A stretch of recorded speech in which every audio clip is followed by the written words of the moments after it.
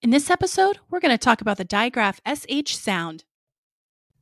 Sometimes when consonants come together, they make a new sound. This is called a digraph. When the letters S and H come together, they make a sh sound, like in ship. Examples of the digraph SH words are shark and dish. The SH in both words both make the sh sound. Let's try spelling an SH word. Let's spell the word shed. Sound it out. What sounds do you hear? That's right. The letters S H E D make up the word shed.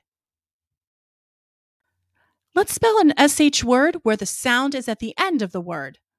Let's spell cash. Sound it out. What sounds do you hear?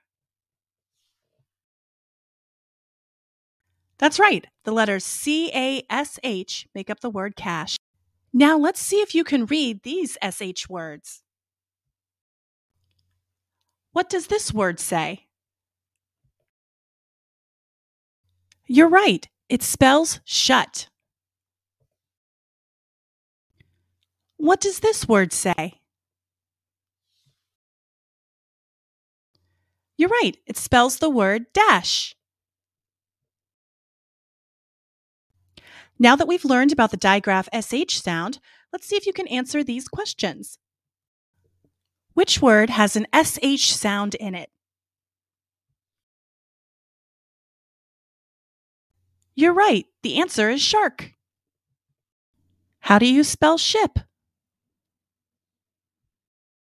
You're right. You spell it S H I P.